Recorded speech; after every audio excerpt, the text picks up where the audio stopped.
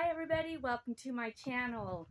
So this is part two of my video and I'm getting ready to chop down these two pine trees right here that I had planted. And the tool I am using is the Porter Cable um, brushless.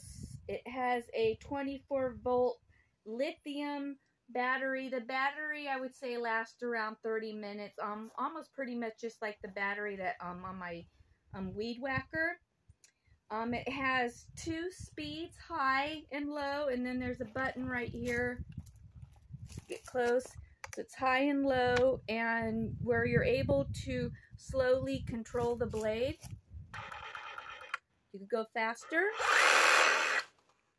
That's the low speed. Then the high speed a lot more um, force. The blade I'm using is a wood pruner blade and it's used for um, trimming branches, um, small branches and stuff. So this is what I'm going to be using to chop down my pine tree.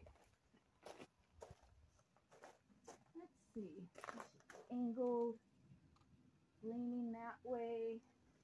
And I think I'm going to start out of the way. Start down as low as I can get. Turn around. I'm starting at the um very base, the bottom of the trunk. And this is very sharp, so you're gonna need to hold on very tight.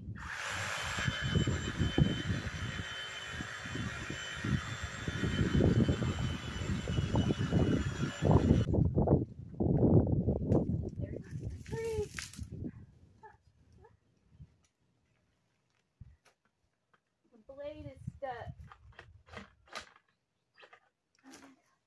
The blade's stuck, but the tree is down.